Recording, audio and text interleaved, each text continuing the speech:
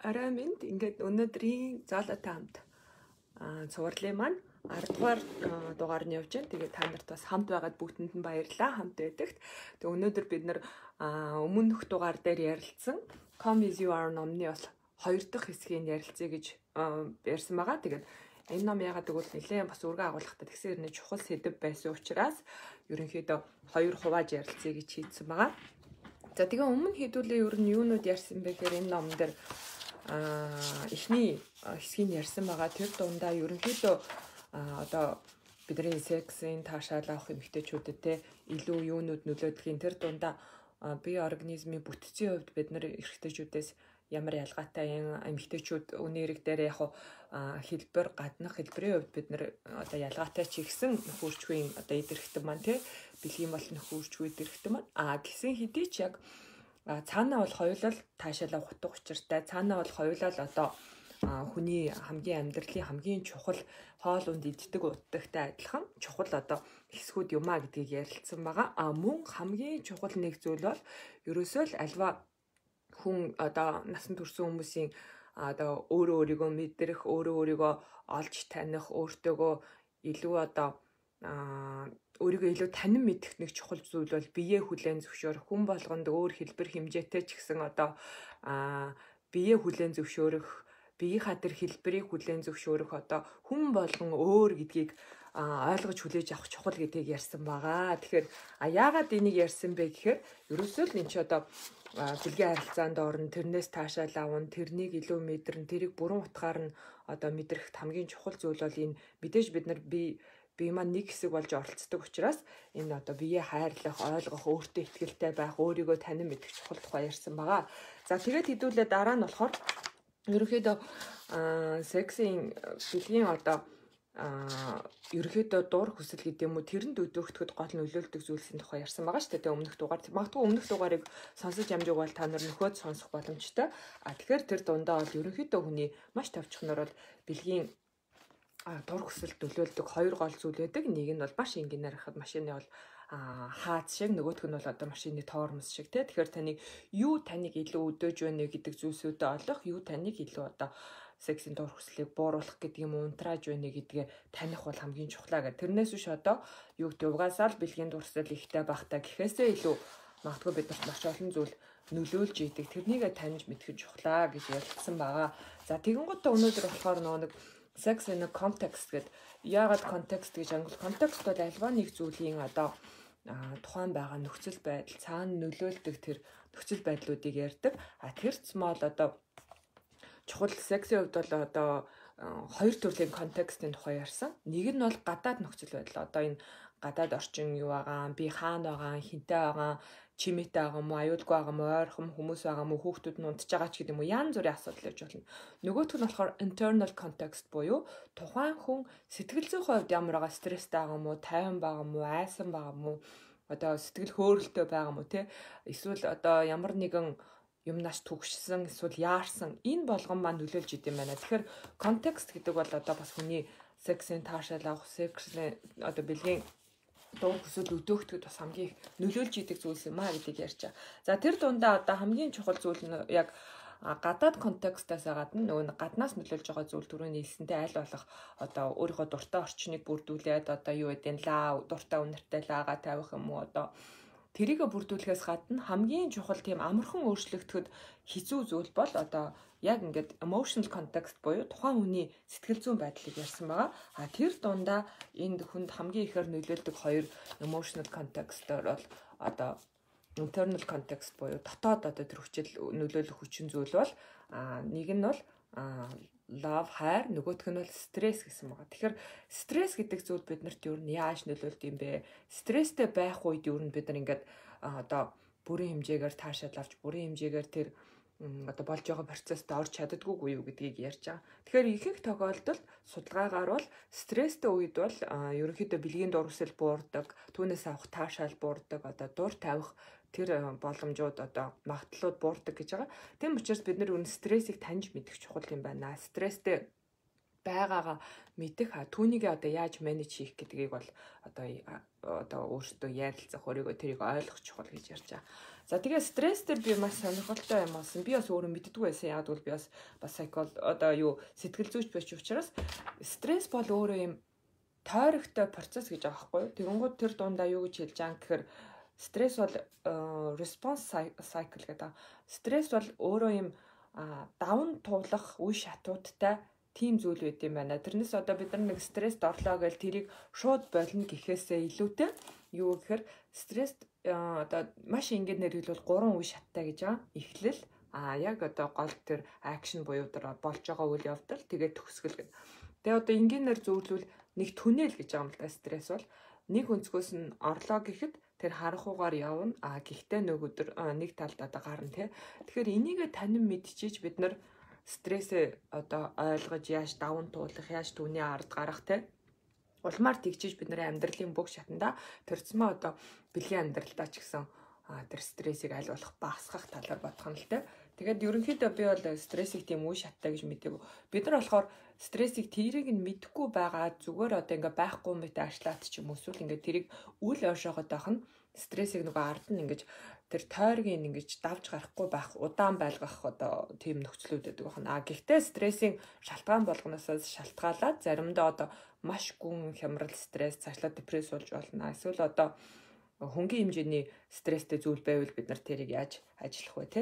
За тэгэнгუутаа ерөнхийдөө хүмүүс стрессийг маш олон аргаар менеж хийдэг те зохицуулдаг. За ерөнхийдөө стрессийн гол одоо хүн ямар нэгэн аюултай зүйл тохиолдоход нөгөө нэг хүний тархины бид нар ярьдаг амигдала гэд одоо илүү тийм emotional буюу бидний сэтгэл хөдлөлийг удирдах хэсэгт маань гол ингээд гурван үйл явц болт юм стрессийн үед бол нэг бол fight тулалт эсвэл нэг бол зүхт те flight нэг бол freeze гэд хөлдөх гэх. Тэгэхээр энэ маань өөрөө бидний секси амьдрал ч гэсэн нөлөөж идэм байх бэлгийн амьдрал те.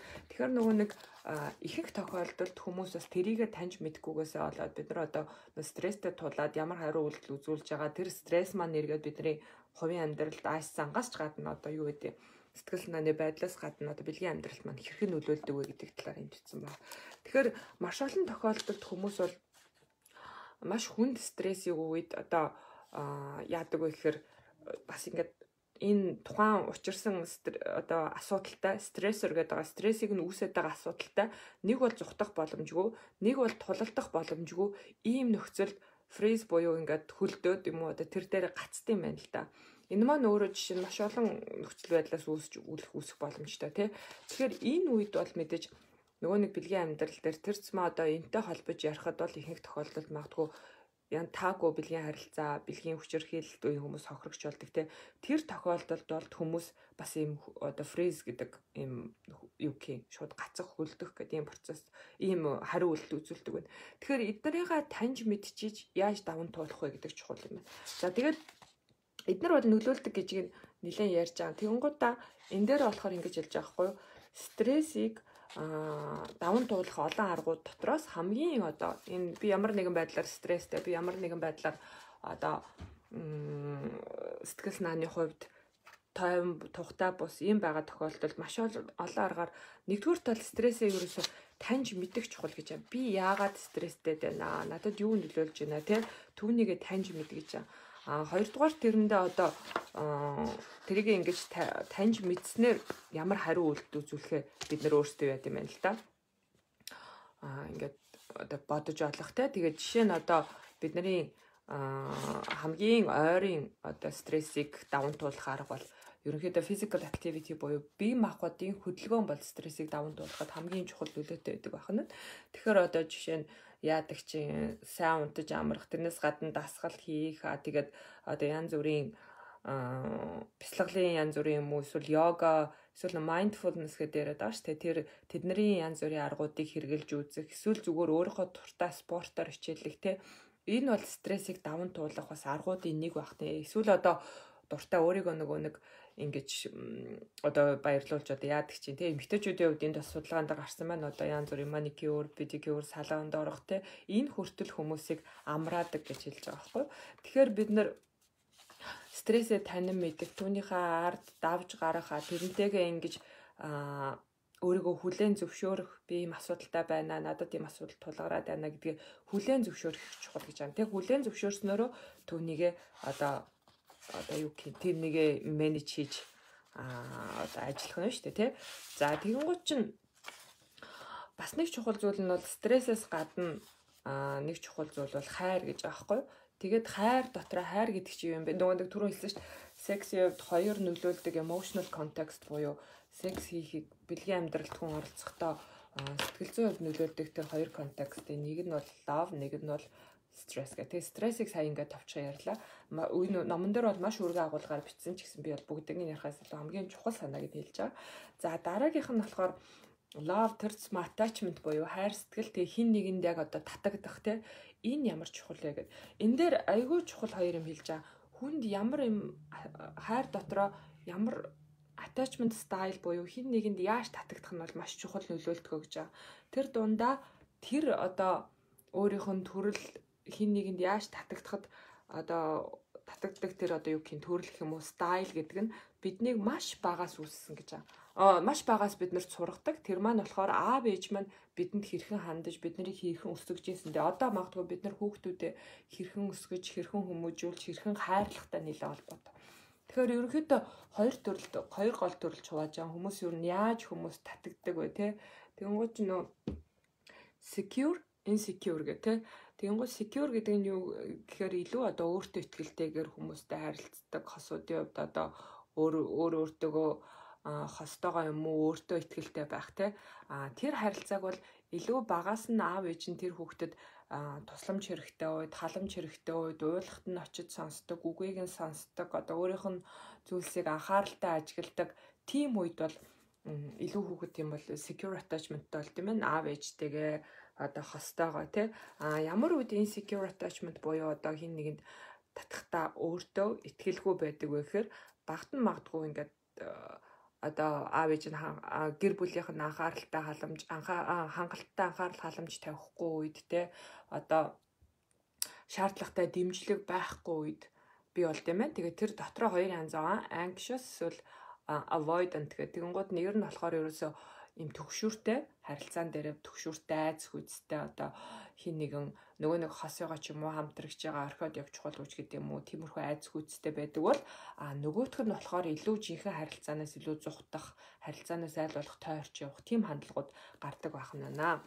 За тэгээд а тийм учраас энэ дээр юу гэж хэлж байна гэхээр тийм тохиолдолд бид нар эргээд энэ нөгөө нэг насан туршийн бүхэл харилцаанд одоо мэдээж цоор ганцхан энэ зүйл нөлөөлөхгүй гэхдээ маш том хэмжээнд нөлөөлдөг учраас бид нар ч гэсэн баг байхдаа би юу н ямар төрлийн ямар хайр халамж хүртэжээсээ одоо би хүүхдүүдтэй ямар хайр халамж хүртээх вэ гэдэг чинь эргээд нөгөө хүн насанд хүрээд яг өөрийнхөө хувь хүнийхээ хувьд хин нэгнтэй харилцаанд ороход сэтгэл зүйн хувьд ч бие махбодын хувьд ч харилцаанд ороход энэ нөлөөлдөг байх та. Тийм учраас маш их бодож эргэж таних чухал байх нь. Тэгэхээр энэ зүйлс бол бид нарыг аа одоо internal context буюу дотоод тэр дотор дотор талдаа ямар нөхцөл байдалтай байгаа ямар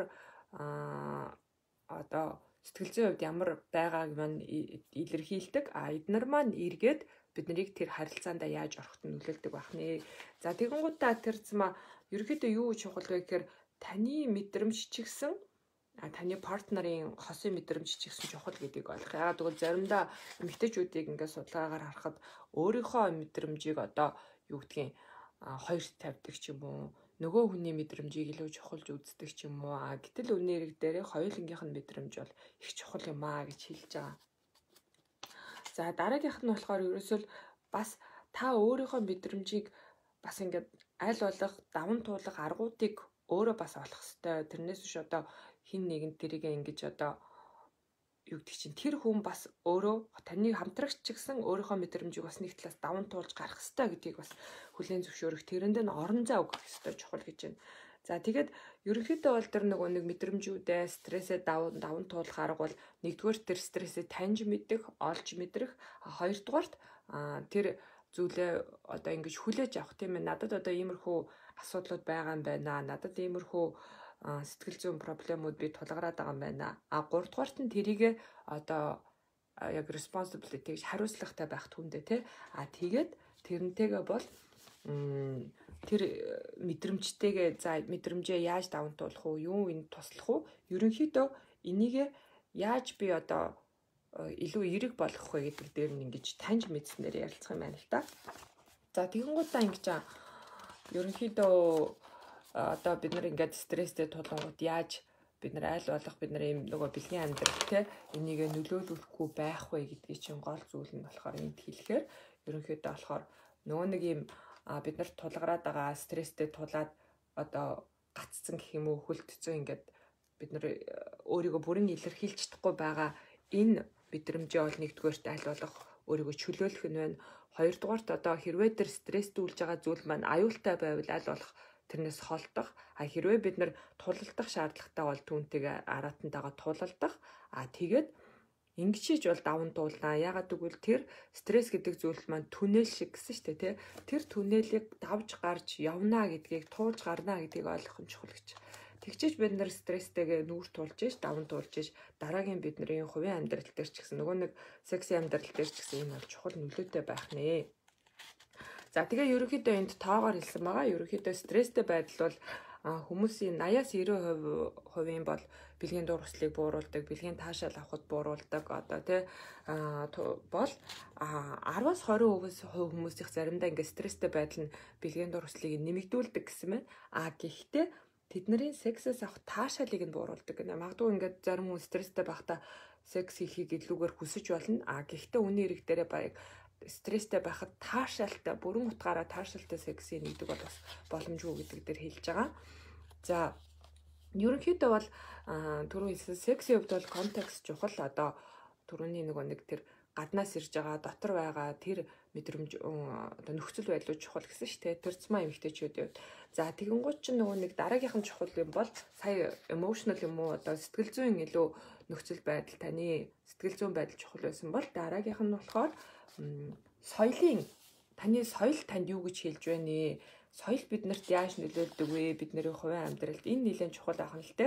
За тэгэнгუутаа тэр дотроо бол ерөнхийдөө бид нар өөрийгөө бэлгийн хувьд одоо дур хүсэл маань өдөөгдөг эсвэл ингээд таашаал авах те. Эсвэл одоо дуур тавих. Энэ болгонд маань ерөнхийдөө гурван гол зүйл нөлөөлж идэм байна. Нэгдүгээрт нь болохоор одоо ийм ясвартгууны талаарх нийгмийн ойлголт соёлын талаар сексийн талаарх тий дараагийнх нь болохоор илүү одоо эрүүл мэндийн гисэн мессежүүд. А дараагийнх нь медиа буюу одоо энэ янз бүрийн сошиал медиа, масс медиа, сэтгүүл одоо юу гэдгийг энэ болгоо нөлөөлж идэм байна. Тэгэхээр ерөнхийдөө болохоор соёлын хувьд болохоор ингээд нөгөө нэг эмгтээчүүдэд бэлгийн таашаал авахд бэлгийн дуур хүсэл одоо дур хүслээ өөрийгөө чөлөөтэй мэдрэхэд өөрийгөө ойлгоход цаашлаад ингээд дуур тавих. Энэ болгонд маань соёлын хувьд байнга мессеж ирж идэг сексийг одоо эмэгтэй хүн бэлгийн амьдралын талаар одоо их дур хүсэлтэй ч юм уу энэ талаар нээлттэй ханддаг энэ дээрээ хостойгоо нээлттэй ярилцдаг юу хүсэж байгаагаа хэлдэг юу хүсэхгүй байгаагаа юм эсвэл юу хийх нь таалагдж байгаагаа хэлэх нь бол соёлын хувьд одоо ямар нэгэн байдлаар завхаач гэдэг юм уу муухайч гэдэг юм уу иймэрхүү хандлага байж байдаг байх нэ энэ бол жишээ нь бид нар өөрийгөө бүрэн мэдрэх бид нар өмнөх дугаар дээр ярьжсэн шүү дээ. Секс гэдэг бол хүний бол одоо хоол идэхтэй адилхан юм мөн чанарын хэрэгцээ юм аа. Нийгмийн зохиол маш олон зүйлээс ялгаатай нь одоо юу гэдэг сургууль, соёл, албан тушаал энэ болох нь ч ер нь бидний нийгмийн зохиол шүү дээ тий. А секс бол бидний нөгөө хоол идэхтэй адилхан бидний илүү мөн чанарын бидний амтан гэдгийн хувьд хүн гэдгийн хувьд энэ мөн чанарын асуудал учраас энэ дээр бол бид нар маш олон заримдаа энэ соёлын заримдаа хэрэгтэй, заримдаа хэрэггүй тийм хүлээсэнд баригдсан байдаг. Тэгэхээр нэг бол тэр зүйл нь одоо ингээл эмэгтэй хүн даруй байх хэвээр одоо хүсэжсэн ч хүсээг хүсэжсэн ч хүсээгүй юм шиг царайлах хэвээр ч гэдэг юм уу? Төрөл бүрийн одоо эмэгтэй хүн сексийг хүсэх нь одоо муухай зүйл ч гэдэг юм уу? Энэ болгон чинь биднэрт эргээд нөлөөлж идэг. А энэ маань өөрөө нөгөө яг чин сэтгэлээсээ ингээд хиймээр байгаа тэр үедээ бүрэн утгаар бид нар мэдэрч өөрийгөө чадахгүй те. Заримдаа ингээд өөрийгөө бүрэн утгаар ойлгож чадахгүй өөрийгөө хойшлуулж идэг ахна л дээ. За дараагийнх нь болохоор тавчхнаар бол magical message ерөөхдөө а одоо бид нар ч гэсэн эрүүл мэндийн боловсрал гэхээр бэлгийн боловсрал гэхээр маш олон тохиолдолд зөвхөн эрүүл мэндийн талаас нь эсвэл одоо их муухай юм шиг те. Гэтэл үүний эрэг дээрээ биднэрт юу чухал вэ гэхээр бас бэлгийн боловсрал гэдэг бол зөвхөн одоо бэлгийн замын халдварт өвчин ч юм уу зөвхөн одоо жирэмснээс хамгаалах гэхээсээ илүү ер нь энэ бэлгийн харилцаанд оролцож байгаа хүн болгон таашаал авах тухай те. А энэ зүйл бол насан турш хүмүүсийн хувьд одоо зөв нөхцөл байдалд одоо эрүүл аюулгүй тийм орчинд одоо юу гэдэг эрүүл гэдэг нь зүсгэл санааны хувьд ч тийм нөхцөл байдалд энэ бол байх ёстой зүйл юм аа энэ бол эерэг зүйл юм а гэдгийг хэлэхээсээ илүү их тохиолдолд тийм айлгсан мессежүүд байдаг. Мэд одоо эрүүл мэндийн мессеж чинь ингүүл юм өвч аав ингүүл ингээд жирэмсэн болно ингэх л ёстой ч гэдэг юм уу те. А гэтэл үүний эрэг дээрээ энэ бол зөвхөн ийм хэлбрээрээ ийм мессежээрээ хүнд ингээд хүрээд энэ ямар нэг амар зүйл юм шиг энэ ямар нэг өвчин юм шиг хандж байгаа хандлага бас байдаг байна соёлын хувьд. За дараагийнх нь мэдээж медиа мессеж. За янз бүрийн медиагаар масс медиа, сошиал медиагаар ерөөсөө маш олон мессежүүд явж байдаг. Ингиж одоо эмэгтэй хүнийг а эмэгтэй эмэгтэй хүн юм байвал секси, тийм байвал секси, секси байх тэдэ аргач гэдэг юм уу юу гэдэг чинь те. Эсвэл одоо эрэгтэй хүнийг а тэгвэл ингээд ингэж жаргаанч гэдэг юм уу эсвэл 7 хоног тэгж хийж байгаа нь одоо бэлгийн амьдралд одоо эрүүл гэдэг тооч өгдөг ч юм уу те маш олон энэ мессежүүд нь заримдаа яг үндэ шинжлэх ухаанд суурилсан гэхээсээ илүү илүү одоо нөгөө нэг хэлбэрийн төдий эсвэл одоо илүү аа тийм одоо медиа хэтрүүлэгтэй юм мессежүүд байдаг байна. За тэгээд зөвхөн одоо тийм юунуудаас зөвлөмжүүдээс гадна одоо янз бүрийн насан туршид зориулсан кинонууд бол маш их хэтрүүлэгтэй бид нар одоо порн гэж ярьдаг штеп. Энэ маань өөрөө бодит одоо амьдралын бэлгийн харилцаанаас илүү одоо хэтрүүлэгтэй, илүү бодит бус одоо энэ дээр тоглож байгаа хүмүүсийн одоо би хаа дүр төрх эсвэл аяглал энэ болгон манд бас жинхэнэ бодит зүйлээс өөр байх нь маш их байдаг, маш их төрөлхтэй байдаг. Энэ маань жишээ нь бид нарт бас мессеж өгдөг бахны. Би хааны хувьд ч тэрэн дээр мэдэрч байгаа зүйлийн хувьд ч тийм өрөөсгөл мессеж өгдөг бахна шүү. За тэгээ ерөнхийдөө энэ мессежүүдээс бид нар яаж ангиж ярих вэ те?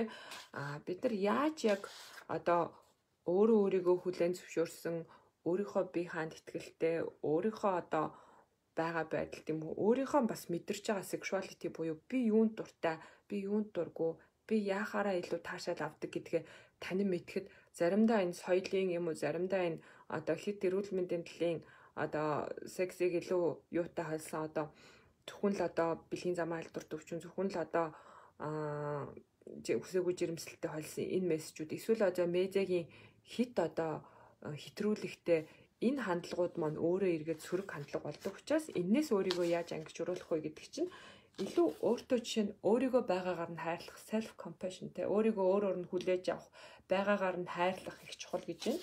За тэрний хувьд болохоор зөвхөн биеийн гадаад хэлбрээсээ гадна өөрийнхөө тэр мэдрэмжүүдийг те хүлээж авах өөрийнхөө тэр мэдрэмжийг таних мэдэх би яавал дуртай байдаг вэ гэдгээ олж мэдэх өмнөх өмнөх дугаар дээр бид нэр ярьжсэн. За тэгээд хит их одоо хиймэл тэр медиа мессежнээс өөрийгөө холдуулж авах тэрнээс өөрийгөө одоо ингээ чөлөөлөх чухал байх нэ. Тэгээ яагаад гэвэл бид ерөөсөө ухаарсан цагаас эхлээл маш их хоорондоо юм зөрчилдсөн мессежүүд авч яадаг. Одоо ямар нэгэн байдлаар секс хийж болохгүй болохгүй болохгүй гэсэн л мессеж өгөөд байдаг болохоос биш. Яг нөгөө нэг бэлгийн харилцаанд яаж илүү одоо өөртөө ихтгэлтэй оролцох. Яг одоо өөртөө ихтгэлтэй байр суурьаар оролцох үгүйгээ илэрхийлэх ч гэдэг юм уу те.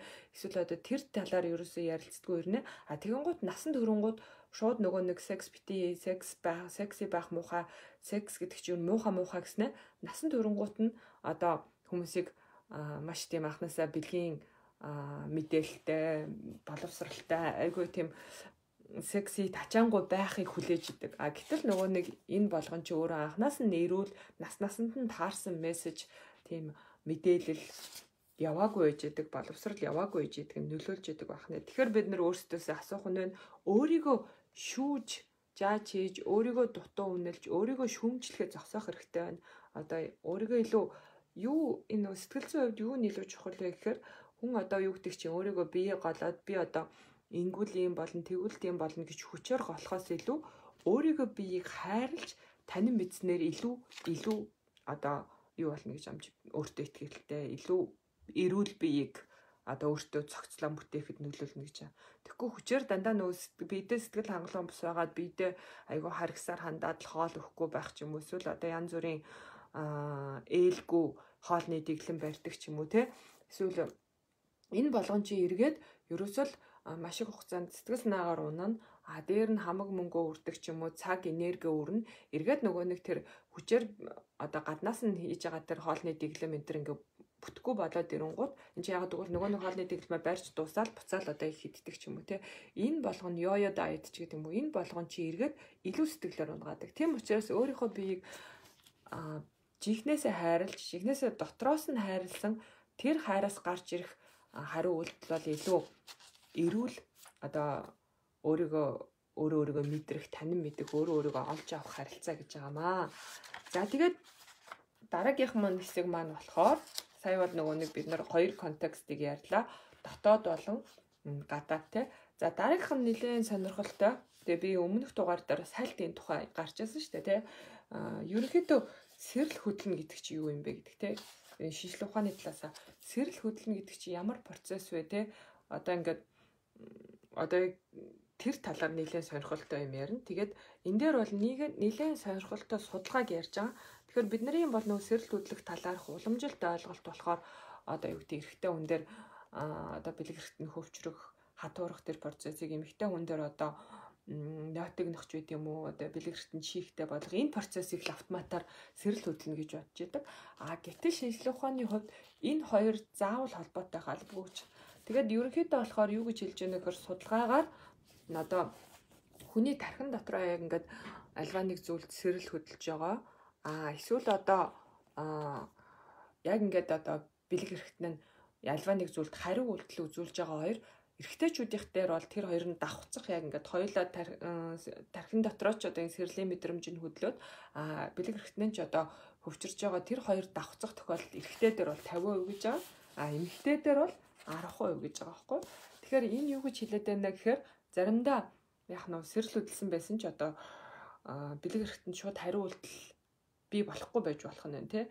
А эсвэл заримдаа бэлэг эрэхтэн хариу үйлдэл үзүүлсэн ч гэсэн заавал одоо яг сэрэл хөдөлсөн байна гэсэн үг шүү ахна. Тэгэхээр энийг таньж мэдэх юу чухал вэ гэхээр бид нар ихэнх тохиолдолд тийм ойлголттой байдаг учраас уламжилт ойлголт маань одоо шууд л энэ хөвчрөгч гэдэг юм уу одоо бэлэг эрэхтэн эмбэлэг эрэхтэн чигтэй нойтон болох гэдэг бол шууд сексийн одоо секс бэлэн боллоо гэсэн үг гэж ойлгоод байдаг. Үнийн эрэг дээр бол энэ бол бод. Тэгээд тиймээс тийм биш байхаар энэ ямар нэгэн зүйл эрүүл биш байна гэж хараад байдаг. А гэтэл үнийн эрэг дээр энэ хоёр бол зөржих магадлалтай байдаг.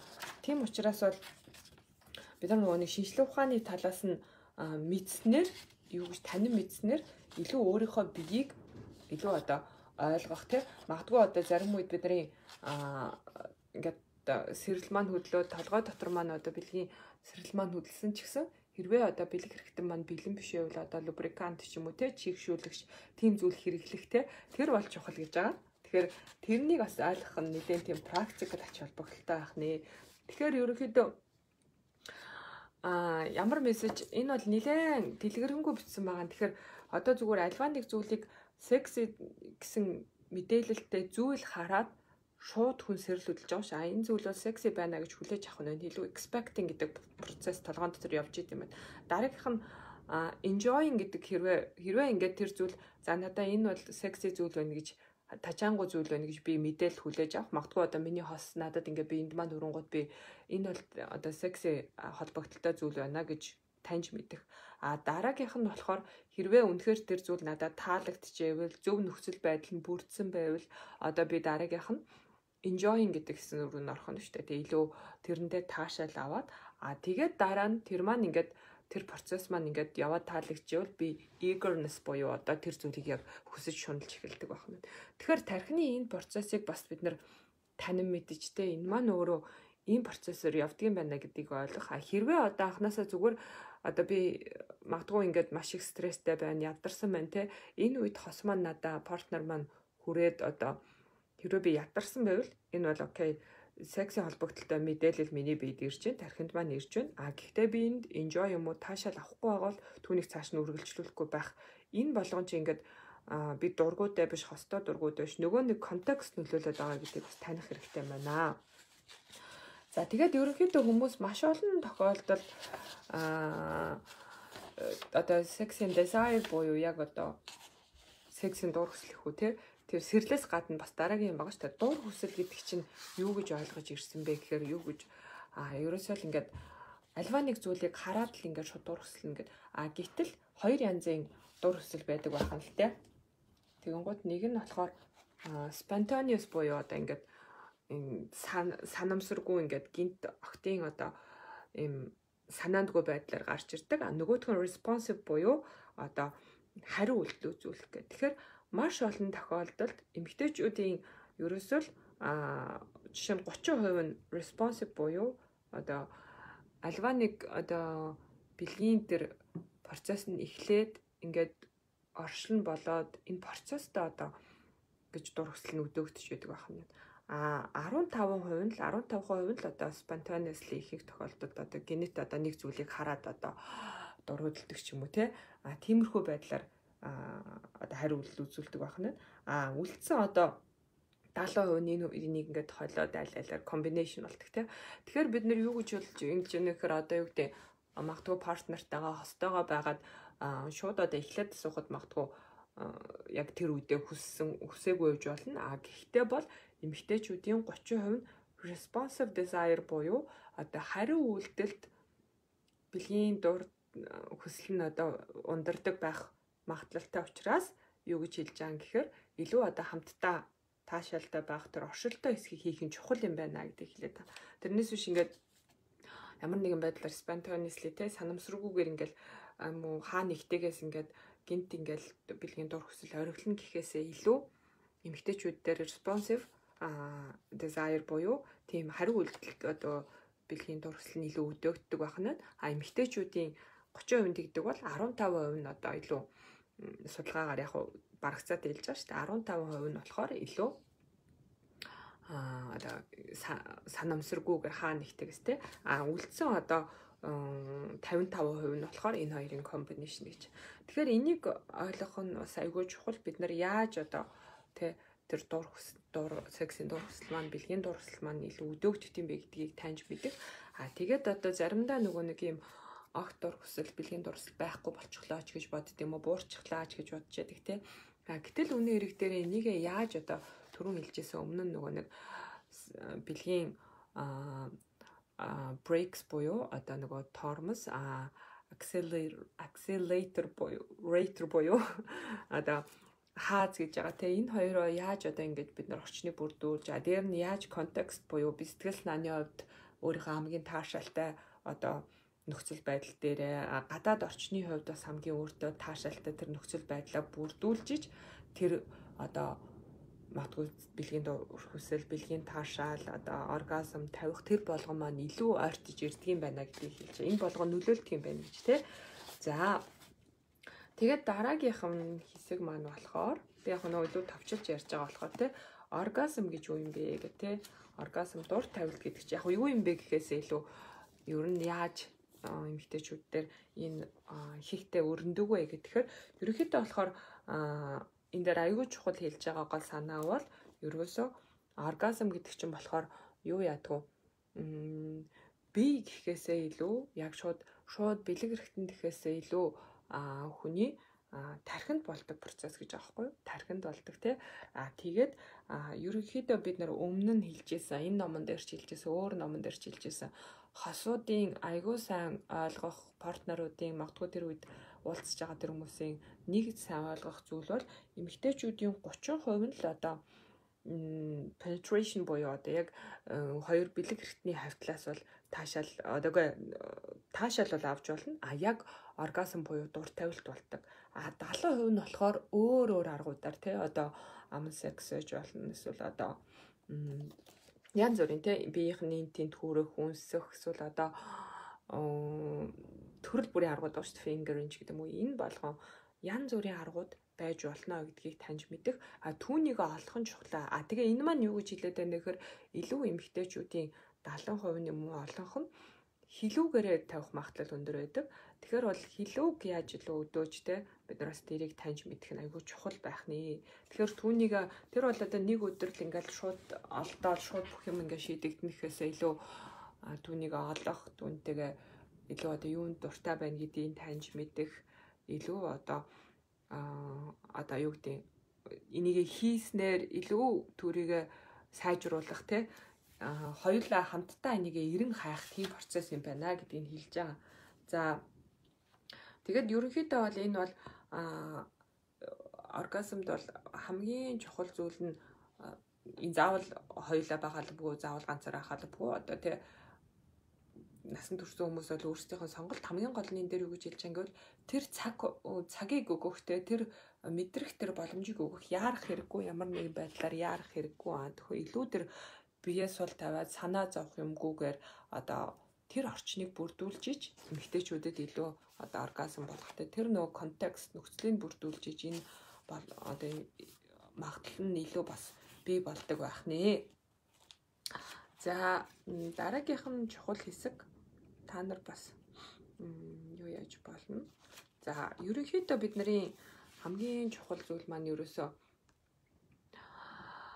а одоо энэ номон дээр хэлж байгаа нь ерөөсөө come as you are гэдэг жааш тэ тавих гэж юм уу таашаал авах гэдэг юм уу бэлгийн дуур хүслээ илүү мэдрэх одоо дуур тавих гэдэг юм уу энэ зүйлд юу чухал вэ гэхээр ерөөсөө өөрийнхөө sexuality-г хүлээн зөвшөөр гэж яг одоо өөрийнхөө sexuality гэдэг чинь би юунд дуртай юм бэ? Би юу гэлүү таашаадаг юм бэ? Би юу гэлүү одоо миний яг sexuality юу юм бэ гэдгээ таньж мэдэх айгүй чухал гэдэг чинь.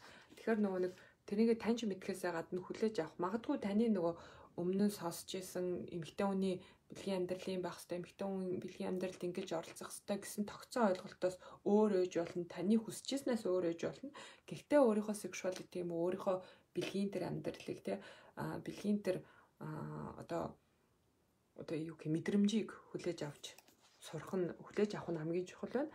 Дараагийнх нь энэ соёлын өгж байгаа юм уу энэ нийгмийн өгсөн олон мессежүүдийн хэрэггүйг нь одоо learn бид нар энийг бол суралцдаг. Тэм учраас хэрэггүйг нь үл суралцах гэх юм уу одоо суралцсан юм арчих те unlearn гэж суралцсан юм арчих суралцсан хэрэггүй зүйлсээ үгүй их чухал юм байна.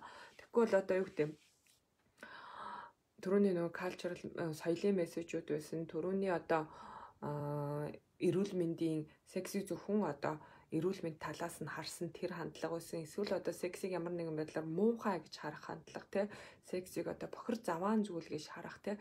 Тэрнээс илүүтэй яаж илүү секси хизээ таашаалтай байдаг вэ гэдгийг бид нар илүү танин мэдснээр а тэр өмнөх одоо соёлын юм уу биднэрт нийгмээс өгж байгаа өмнө медиагаас өгж байгаа нөх хэтрүүлэгтэй энэ мессежүүдийг бид нар тархинасаа хэрэггүйг нь авч хаях хэрэгтэй юм байна. Тэгжиж бид нар өөрийнхөө тархийг чөлөөлж өмнө номон дээр гарч ирсэн те бид нарыг одоо ингээд нэг цэцэрлэг ингээд юм тарьдаг цэцэрлэг гэж бодвол өмнө нь бидний цэцэрлэг дээр багаас мань тарьсан тэр одоо хогийн ургамлуудыг тастаж хайж илүү өөрийнхөө тарихыг хүсэж байгаа тэр шин цэцэгсийг шинэ ургамлыг тарих нь айгүй чухал байх нэ тий. Магадгүй тэр үед чи хүмүүс та өөрийгөө мэдрэх гээд яаж хаад одоо таны үзэж байгаа медиа ч юм уу соёл чинь өөр юм хэлж иж магадгүй. А гэхдээ биднэрт юу чухал вэ гэхээр би яг энэ би яг юу хүсэж байгаа юм бэ те би насан туршны хүний хувьд би ямар зүйлд энэ чэнэс таашаал авдаг ямар зүйл надад тайван байдлыг өгдөг ямар зүйл надаа одоо тийм бэлгийн дурслыг маань өдөөж дуур тавих боломжуудыг бүрдүүлж байна гэдгээ таньж мэдэх нь чухал байх нь байна. За дараагийнх нь ерөөсөө өөрийгөө тэр таньж мэдэх процесстой шүүл одоо өөрийгөө одоо юу гэх юм шүүж шүүмжлэхээс илүү өөрийгөө хүлээн зөвшөөрөхтэй а одоо энэ хосынхоо хувьд ч гэсэн хосыгоо ч гэсэн ингээд шүүж шүүмжлэхээс илүүтэйгээр хамтдаа ойлгох энэ чухал байх нь байна. За тэгээд ерөнхийдөө өөрийгөө өөрийнхөө мэдрэмжийг хүлээн зөвшөөргээд байгаа. Ямар төрлийн мэдрэмж байна те гонигтай байна уу одоо стресстэй байна уу тэр мэдрэмжийг хүлээн зөвшөөрөөд тэр стрессээ юм уу тэр зүйлээ даван туулах боломжийг энэ тэр тойргийг нь одоо нэг түрүүн альва стрессийг даван туулахад бид нэг тийм сайкл хийдэг гэсэн ш. Тэрийг таньж мэдээд тэр одоо тойргоо гүйцэх боломжийг өөртөө өгөх те.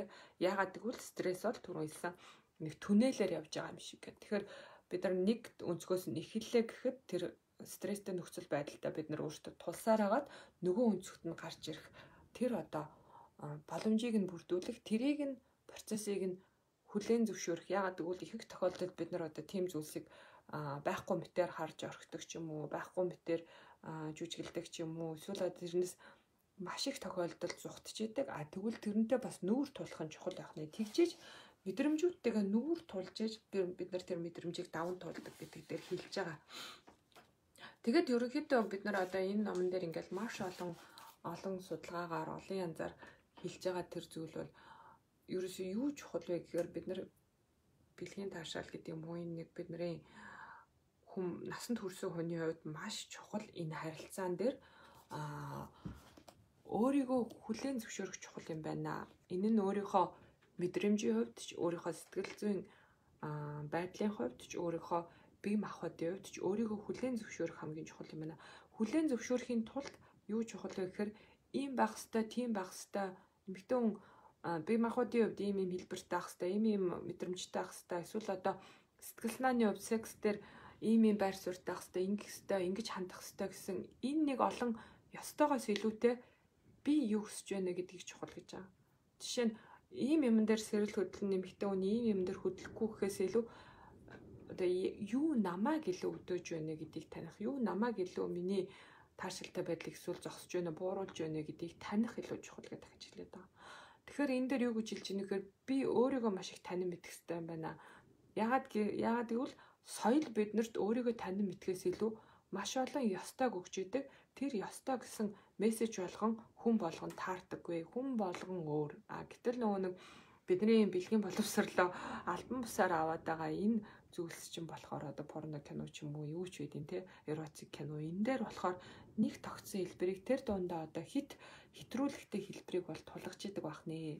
Тэгэхээр бид нар яаж тэр хэрэггүй мессежүүдийг одоо суралцсан тэр зүйлээ тархинаас арчиж илүү хэрэгтэй шин мессежүүдийг тархиндаа суулгах вэ гэдэг маш чухал талаар бичиж байгаамаа.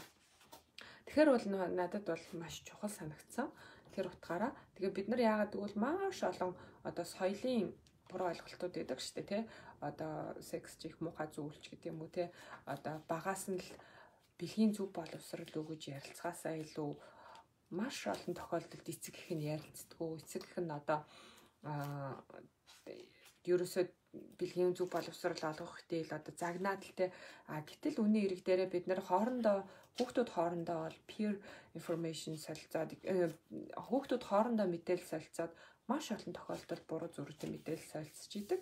Энийг нэргээд биднэрт нөгөө нэг одоо нэгдүгээрт аюулгүй байдлын хувьд хоёрдугаарт нөгөө таашаал авах дуу хүсэл юм өөрийгөө таньж мэдэх энэ болгон дээр маань энэ буруу мэдээллүүд буруу тийш хөтөлж идэг байх нэ. Тэгэхээр одоо магадгүй өөрийнхөө хувьд багт маань өөрийнхөө хувьд бодох нь би багт маань юм уу эсвэл намайг энэ залуу одоо эд насн дээр явж байхад ямар ямар сексийн талаарх ямар ямар мессежүүд миний тархинд суулгасан юм бэ? Тэр нь өнөөдөр хідэн надтай зохицож миний үнэс зүйлтэй, миний мэдрэмжтэй, миний одоо тэр даван туулж байгаа амталж байгаа зүйлтэй холбогдож байгаа. Аа хідэн үгүй вэ? Аа дээр нь одоо би магтгүй хүүхдийн хувьд бэлгийн боловсролын хувьд ямар зүйл үүс тарьж байгаа нь те одоо би юу гэдэг ямар нэгэн байдлаар одоо секс хийж болохгүй болохгүй гэд хэлээд байх нь үнэхээр болохгүй гэж тэр хүүхдэд мессеж очиж байгаа юм эсвэл тэрэнд хүүхд итгэхгүй шал өөр мэдээл хайгаад явж байгаа юм бөгөөд энэ болгоныг бодоход айгүй чухал талаар нэлээд юмнууд надад хэлсэн маш чухал санагдсан. А тэгээд дээр нь тэр нөгөө нэг шинжлэх ухааны мэдээллүүд нь одоо судалгаанд суурилсан мэдээллүүд нь маш чухал санагдсан. Яагаад гэвэл бид нэр энэ талаар мэдэхгүй байснасаа болоод одоо өөрийгөө бэлгийн дур хүсэл багч гэж боддөг юм уу? Одоо эсвэл юу гэдэг энэ талаар огт ярилцахгүй энийг муухай гэж боддог.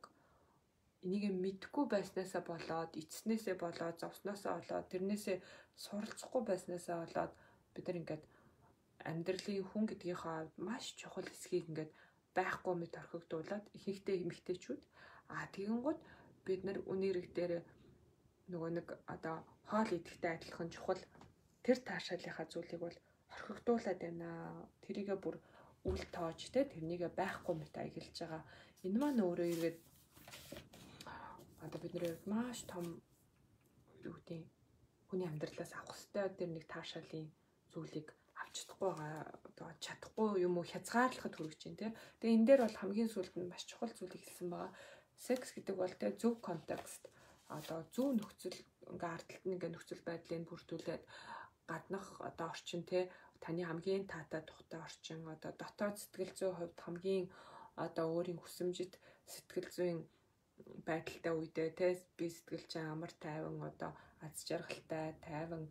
Тийм үед секс бэлгийн дур хүсэл юм уу секс бэлгийн таашаал одоо дуур тавих гэдэг юм уу энэ болгон чинь маш эерэг зүйлээ те а гэтэл соёл маань энийг муухай юм шиг эмхтэн өндө ойлгуулж идэг.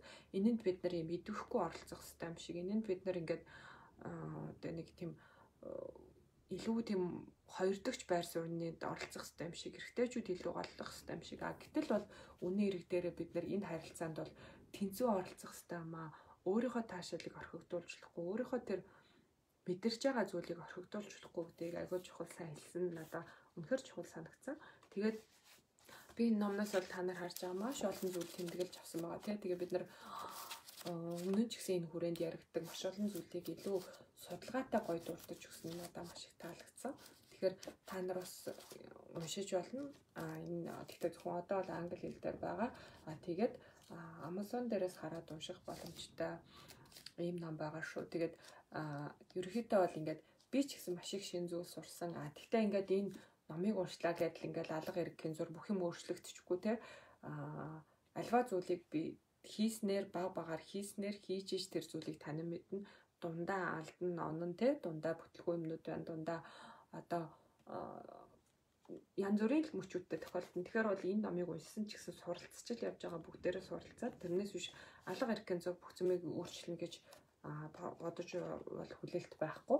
А тэгэхээр бол дээр нь ер нь нөхцөл байдал болгоом нөгөө энэ түрүү хэлж байгаа контекст нөлөөлдөг учраас заримдаа сайн секс үеж болно. Заримдаа бас тийм сайнч биш байж болно те таагүй секс тохиолдож болно хөгийн зүйл тохиолдож болно shit happens гэдэг шиг тэгэхээр нөгөө нэг янз бүрийн нөхцөл байдлуудыг хүлээн зөвшөөрөх төгс хүн гэж байдгуутай адилхан төгс бас секс амьдралч гэж байхгүй. Тийм учраас тэрийгэ хүлээн зөвшөөрөх, тэрийгэ байгаагаар нь хүлээж авах, а тэгээд танин мэдчихэж сайжруулах чухал юм байна. Сайжруулах шиг юм уу илүү өөртөө байгаа тэр зүйлээ илүү мэдрэх те.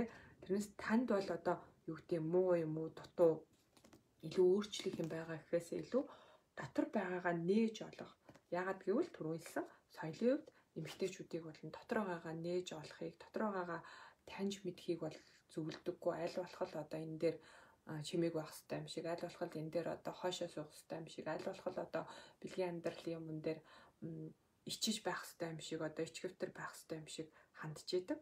А тэгвэл энэ нь бол юу гэдгийг ямар нэгэн байдлаар эрсдэлтэйгээр олон хамтрагчтай болох юм уу эсвэл одоо хамгаалтгүй секс их юм уу энийг бол зөвлөөгүй. Илүү яг тэр сонгосон одоо альва хамтрагч байна уу тэр хүнтэйгээ энэ хийх гэж байгаа зүйлээ бүрэн утгаараа мэдрэх тухай илүү ярьж байгаа гэдгийг бас санах хэрэгтэй.